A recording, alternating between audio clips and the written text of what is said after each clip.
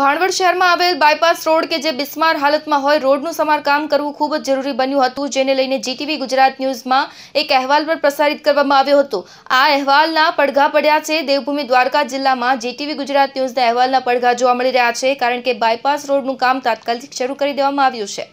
ભાણવડ શહેરમાં આવેલ bypass road બિસ્માર બન્યો હતો. રોડનું સમારકામ ખૂબ જ જરૂરી બન્યું હતું. તેવામાં આ રોડ પર એકથી દોઢ ફૂટ સુધીના ખાડા પડ્યા હતા. રોડ બનાવવા માટે એક કરોડ પચાસ લાખ જેવી રકમ મંજૂર પણ થઈ હતી.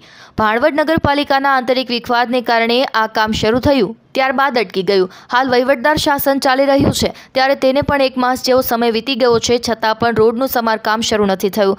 આ કામ માટે ખાસો ટાઈમ લાગી શકે તેમ છે. ચોમાસાની સિઝન ચાલી રહી છે, સામાન્ય વરસાદ વરસી રહ્યો છે. ત્યારે વરસાદી પાણી ભરાઈ રહ્યા છે. જીટીવી ગુજરાત ન્યૂઝ દ્વારા તાજેતરમાં જ એક અહેવાલ પ્રસારિત કરવામાં આવ્યો હતો, જે અહેવાલ બાદ અહેવાલના પડઘા પડ્યા હોય.